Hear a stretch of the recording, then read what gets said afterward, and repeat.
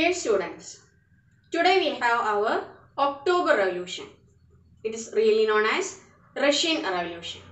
We have discussed the important portions of the February Revolution, its leaders, its consequences, day by day uh, or day to day changes that happened in Russia during February.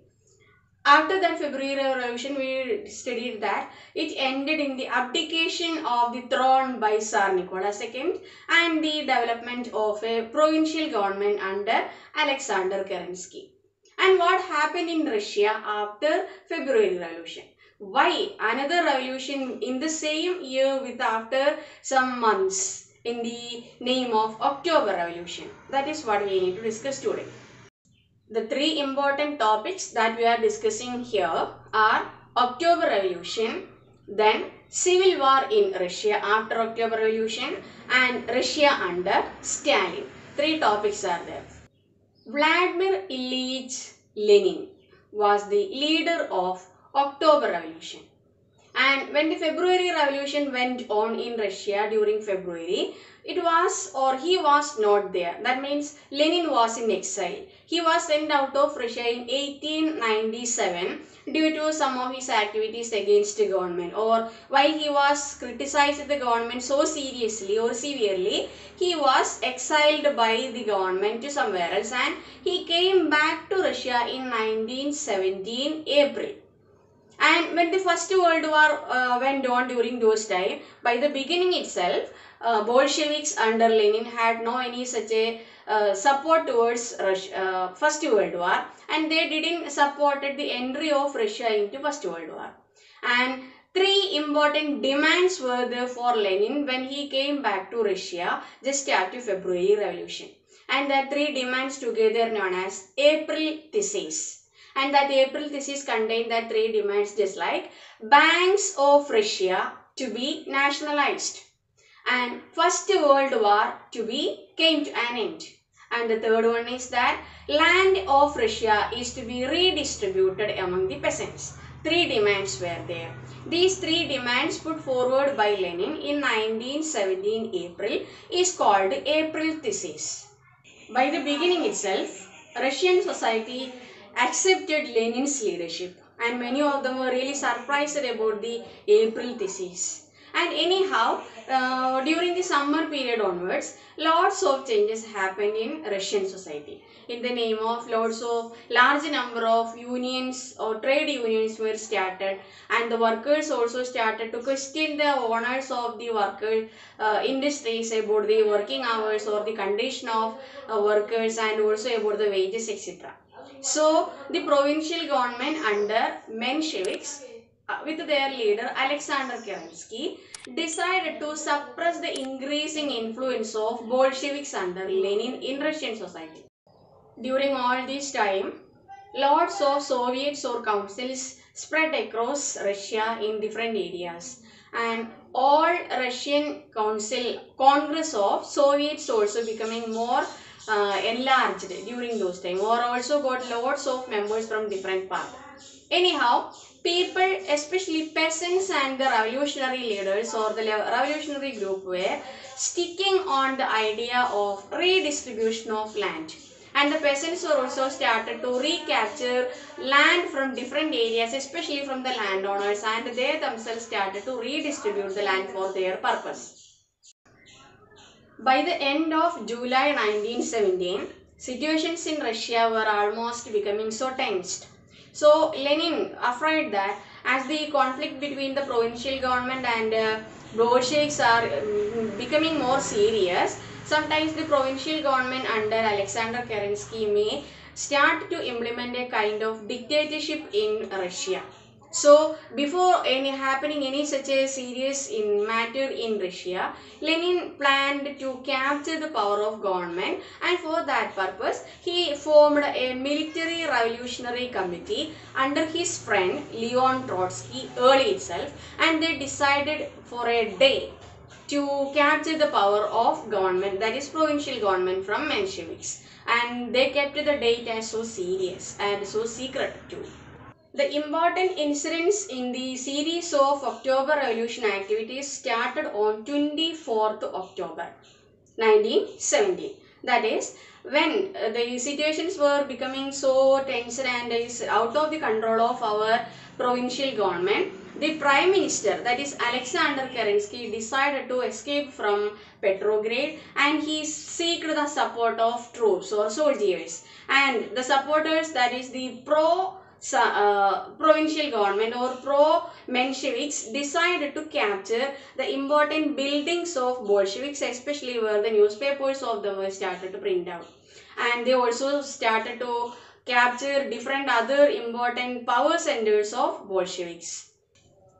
In return, under the Military Revolutionary Committee, they also started their work against this Menshevik or the provincial government just like in the form of capturing the offices. That is uh, government offices and officials also started to capture one by one by the uh, military revolutionary committee under Lenin and his friend Trotsky. And in the coming uh, hours what happened is that even Winter Palace also was shelled and lots of other important offices in the other banks of river Neva was also started to capture one by one by the revolutionary committees.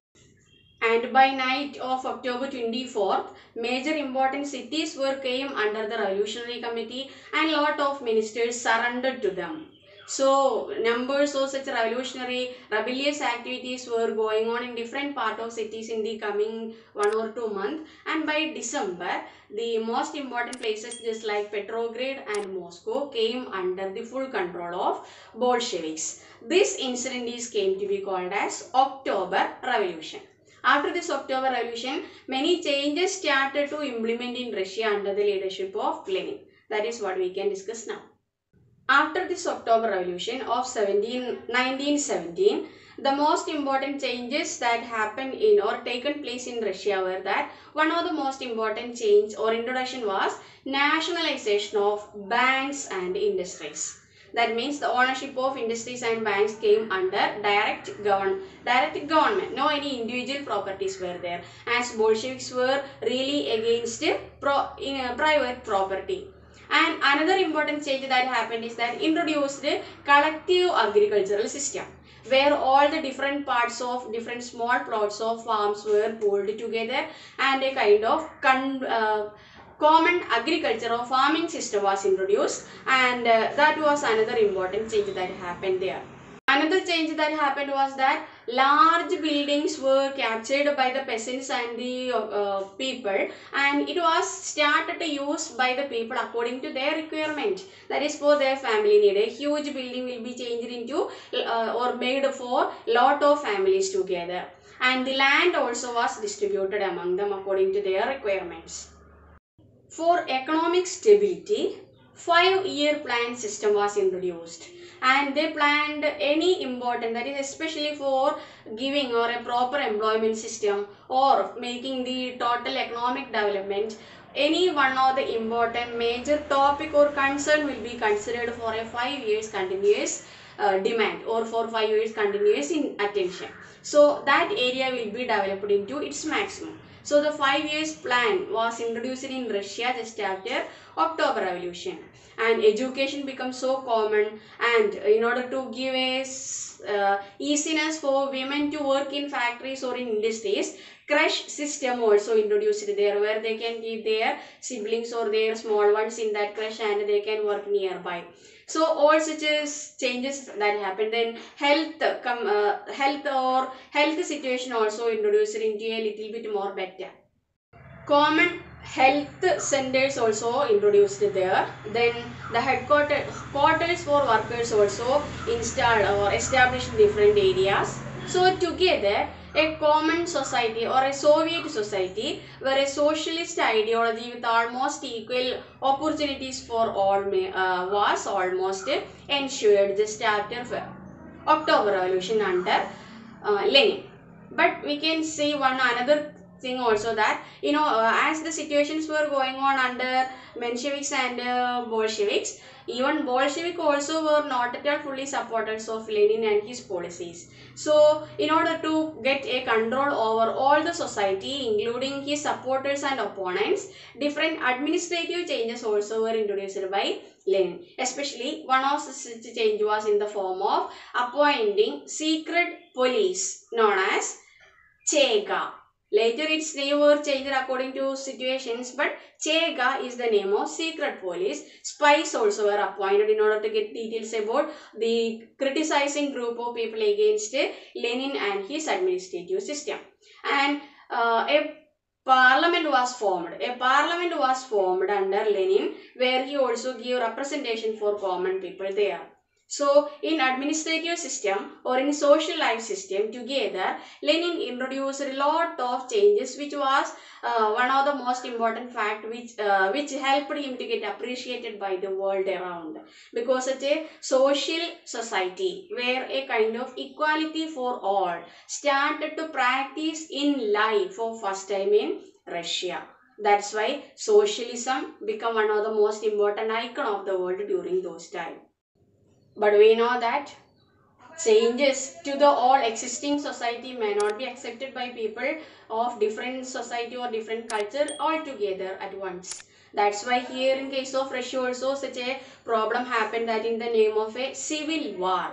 That is another important point that we are discussing here. Civil war happened in between the supporters of Bolsheviks and the opponents of Bolshevik. Or we can say that it was a, or it was in between Bolshevik in one side and pro-Tsarist group or pro-Menshevik group in another side where three group of people were there to fight in between. That means uh, Bolsheviks in one side and to another group of people together. Bolsheviks were called Reds. Then socialist revolutionaries were called Greens. And the another group called pro-Tsarist or the supporters of Tsarist group were called Whites red in one side and white and green in another side. Because white and green controlled majority of the Russian areas, Russian empire during 1918 and 1919 and they also were got support from France, America, Britain, Japan etc. because the social changes that is happening in Russia were really a matter of fear for these countries also really they are afraid about the spreading of the ideas of socialism. So in order to crush the increasing power of Bolsheviks, that is Reds, Whites and Greens with the outsiders joined together. And the fight between these two groups is called Civil War in Russia which caused casualties of uh, a lot and even though civil war happened there it didn't give much uh, uh, what you can say much pressure on the bolsheviks but people across Russia had different ideas about Bolsheviks because some people in different extremely in the different nook and corners of Russia declared themselves as uh, Bolsheviks and they have committed whatever atrocities or whatever nuisance possible for them to do in their locality. So people believed that one side Bolsheviks are supporting common people and in another side in the form of uh, self-declared Bolshevik they are making many kind of problems. So together people believed that some kind of problems are going on anywhere. All these together known as civil war. Anyhow, in order to get a support and also to get control over the uh, rising group or the re revolutionary group of people in different nook and corners, self-government or autonomy was allowed or uh, announced by Lenin in order to rule that locality by their own without having much disturbances to people. After Lenin's death in 1924, Russia came under the leadership of Stalin and during the time of uh, Lenin, he named Russia as USSR, Union of Soviet Socialist Republic. And that country was came, uh, came into the hands of uh, Lenin, so uh, Stalin, where Stalin is considering as the person who introduced planned economy. Under that, uh, five-year plans were successfully introduced into Russian society, where he understood one important major problem that the shortage of food grains due to many uh, factors, especially the uh, one important factor behind this shortage of food grain was the uh, foul play playing by the traders and the peasants because they are keeping a share of the food grains in their own hand or in their own godown hoping for a best future to get a maximum price for their grains. But the prices for that food grains were already fixed by the government. So eh, the disappointed uh, uh, peasants or the traders those who were not willing to sell the product according to the price fixed by the government kept the quantity of that food grains in their control that led to the shortage of food grain. So that was one of the important problem that he had to face while he came into uh, power. In order to solve the problem of shortage of food grain in 1928 itself stalin uh, appointed some important party members in charge of supervising the important godowns of the well-to-do farmers called kulaks and to collect all the stocked food grains from that locality to make it available in the public market for the people. And as the situation that is the shortage of food grain continued again and again, he decided to continue or to uh, introduce the item of collective farming where all the land was taken care by the government under government management and it was given chance for all the farmers to work in that farm field. And the profit was started to share. But some of the farmers were not ready to accept that part of share of the profit because some of the farmers were trying or working hard in the farmland some others were idle. So while the uh, profit was shared everyone got equal uh, share also. So uh, some of the disappointed farmers were not ready to cooperate with the collectivization of farming and they were not willing to keep their animal uh, wealth also with them. So again continuous problems were there in russia even after uh, uh, october revolution when stalin introduced new changes into economic development of russia in order to suppress the increasing wrath or the anger of the uh, farmers, those who are disappointed farmers, uh, Stalin introduced some measures, that is strict measures in the form of getting all those uh, revolting people under his control and either they were exiled to countries or they were deported to somewhere else. Anyhow, the situation didn't have any much changes. That is, especially the production of food grains didn't increase into a maximum level. That led to Russia to face one another drastic uh, plague and also the famine during the time of 1930 30 or 32 etc. So another uh, even though many revolutions happened or many steps of revolutions happened in Russia, lots of problems were again there to solve under great leaders just like Lenin or Stalin etc. during the period of 1930 or 32 etc. Due to the economic reforms made or introduced by Stalin in Russia, lots of confusions and problems were there, especially in the factory or industrial sector or also as a form of consequences or the problems facing by the collectivization of farming. So from him uh, within this his own party itself, that is in within communist party itself, lots of critics were there against Stalin. So without having no any other option, he started to uh, make them silent by arresting them into large number. That means large number is beyond our imagination. Millions of people were arrested and put in jail due to their critics. And many of them know that they are really innocent and but no one came forward to make any kind of arguments in uh, favor of saving the life of the innocent people in the jail. Many of them were really educated. Uh, uh, some of them were educated, some others were professionals, and uh, many people from highest position in society also were under the imprisonment due to the uh, repressive style of administration of Stalin in Russia uh, during the period of 1930 or almost 1930 to 1939. So, in order to conclude this lesson, we can say that definitely Russian Revolution had its impact and influence on the whole world politics. especially in the form of formation of some different political parties. Socialist parties are there, communist parties are there. These parties also started across to form in different countries of the world. That is one of the impact, impact of Russian Revolution globally. But we can understand that uh, some of the ideas put forward by the Ru- Russian Revolution by the beginning in the form of giving maximum support for workers or peasants or nationalization of the important buildings etc. were not fully practicing in the later ages of Russia. That is after 1950 or 1960 etc. Many or total diversification of the October Revolution ideology or the Russian Revolution ideologies were started to practice. So the popularity of Russia, that is USSR, started to decline uh, day by day, and by later uh, end of the 20th, 20th century, the important position that once uh, Russia or USSR earned and enjoyed started to decline day by day or gradually.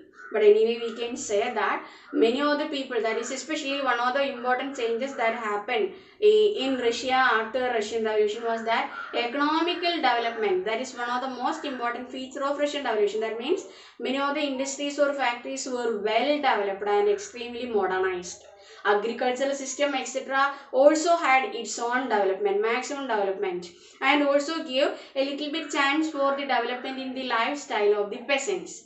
But many other type of freedom that is especially two party system or three party system etc were uh, reduced. That is some more freedom of people to express their ideologies. If they have a different idea they have no any chance to express it. That is freedom to express their ideology was lost and also uh, the Russian government become a government of one party system alone.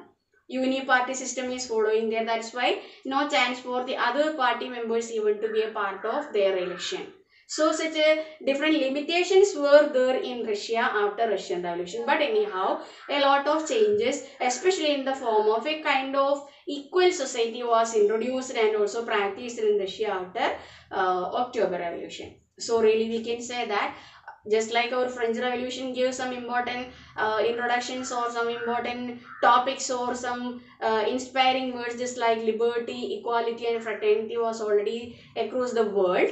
The word equality is almost practiced in Russia after Russian Revolution in the form of giving a chance for people to mingle together and also to live together without knowing about their status in society or about the color or any other any other factor of discrimination.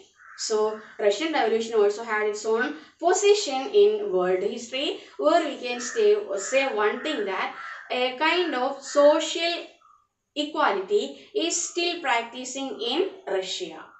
So we have discussed a lot of points about Russian Revolution and its impact on the global level or the impact on its own people etc. So children, we have completed that chapter Russian Revolution and Russian Revolution is known as October Revolution and its leaders and the other consequences or the other day, by day incidents also we have discussed here. So we have completed that chapter. We can come in another uh, video with uh, another lesson. So thank you. Keep watching. Have a nice day.